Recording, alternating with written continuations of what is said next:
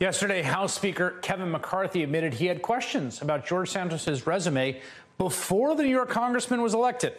Today, McCarthy was asked whether he raised those concerns during the campaign. You said yesterday you had some questions about his past. Did you raise concerns during the campaign season before the election? Well, I raised cons- uh, my staff raised concerns when the, he had a staff member who impersonated my chief of staff, and that individual was let go when, when Mr. Santos found out about it. All right, you hear that? So, first of all, uh, the thing that he objected to, understandably, was uh, a staff member impersonating Kevin McCarthy's chief of staff to raise money. But once that guy was gotten rid of, no problem. So he didn't answer whether he acted on his questions about Santos's resume, which we now know was largely fabricated. Instead, he talked about another revelation, the one of his campaign ads impersonated McCarthy's chief of staff in calls to Republican donors, which you think would be a red flag. But hey, McCarthy said Santos aide fired Santos fired this aide, suggesting that for a Republican campaign worker to impersonate the House Republican leader's chief of staff is no big deal.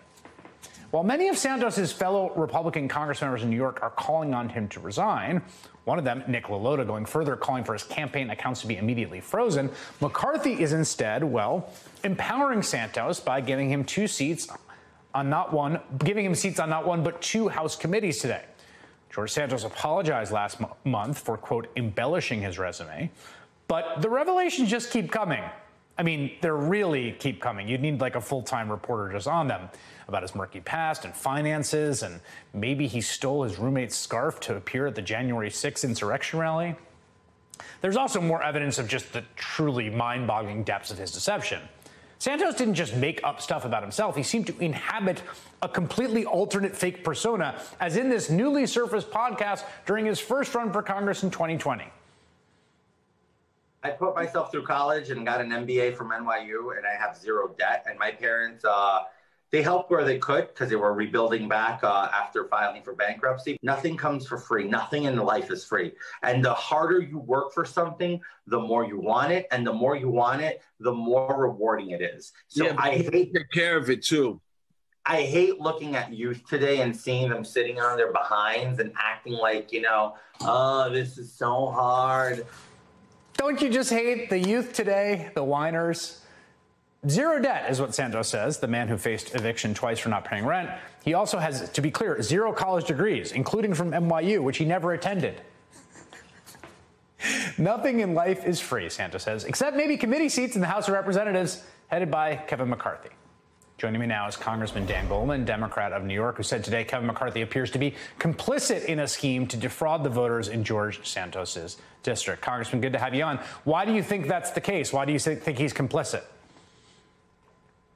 Well, the New York Times reported over the weekend, Chris, that McCarthy and his super PAC leader uh, were aware of a uh, self research study that Santos commissioned to determine if he had any issues that might be leveraged by an opponent, which, not surprisingly, showed showed up with uh, a bunch of lies, not nearly as many as we now know, but enough to recognize that Santos uh, appeared, at a minimum, to be trying to pull a fast one over his, his voters. That prompted his campaign team, many of them, to resign.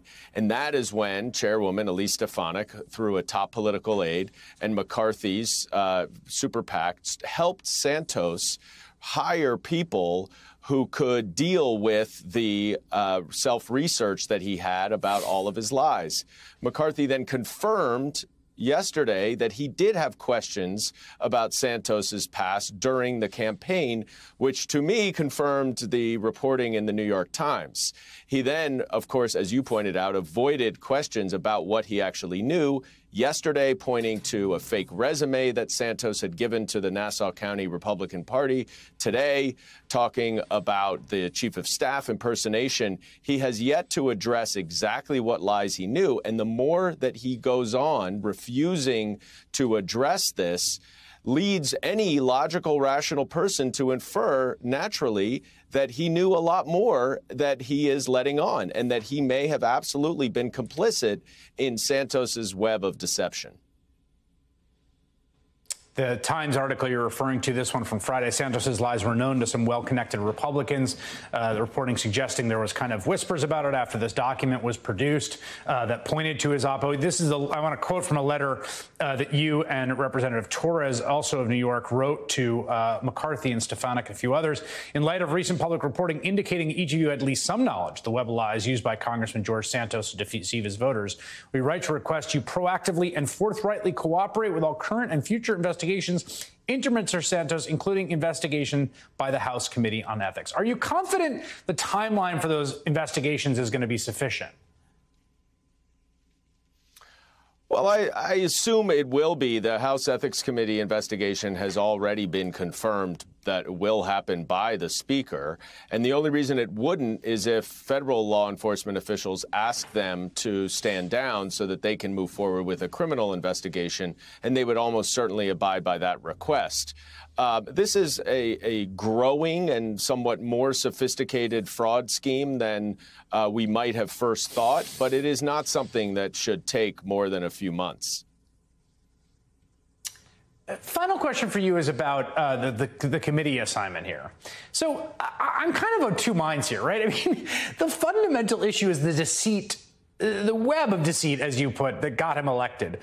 But now he's in Congress. He's not going to be expelled. The bar for that is very, very high, and there's some there's some sort of constitutional questions about that as well.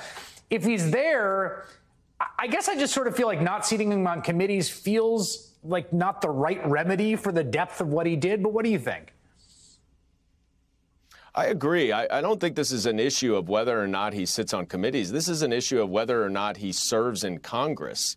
He completely defrauded the voters of his district in order to get elected. He does not belong in Congress. That's the issue. If he's in Congress, whether he's on a committee or not, is beside the point he he needs to be he needs to resign as eight Republican congressmen have called upon. And if not then Kevin McCarthy and Elise Stefanik need to ask whether they want to have someone like George Santos in their conference who is an outright fraud. Because if he does not resign and he is not asked to resign then that is what the Republican Party is about George Santos all right, Congressman Dan Goldman, freshman uh, congressman from New York, along with a bunch of new members of Congress from New York. Uh, definitely not the most famous member of that freshman New York class, I have to say. Good to see you.